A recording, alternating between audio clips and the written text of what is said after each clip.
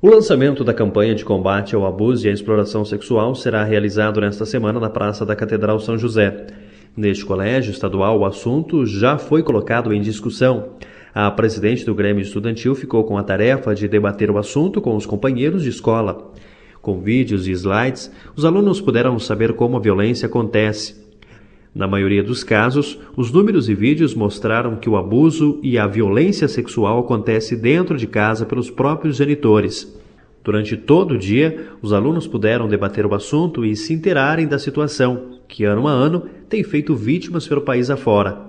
Porque tem muita gente aí que não sabe, quando as pessoas não sabem, é falta de conhecimento, ela, ela acaba fazendo sem ter noção de que ela está fazendo. Então você conscientizando, conscientizando a pessoa, ela vai parar de fazer, né?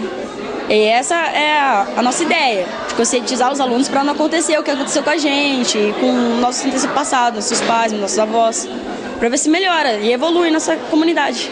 Bem, e essa orientação vem do Núcleo é, Regional de Educação, né? Digamos, é uma palestra, são orientações de aluno para aluno aqui no colégio, né?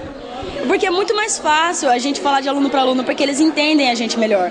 Agora, se for vir um adulto, vai ser uma coisa mais chata e tal, porque aluno falando para criança, ele não sabe o que ela está passando. A gente sabe, porque a gente está vivendo isso no dia a dia. Então é mais fácil para a gente falar.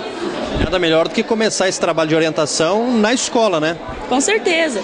Se a criança saber desde pequeno que é violência, ela provavelmente não vai praticar com seus amigos e mais futuramente com seus filhos.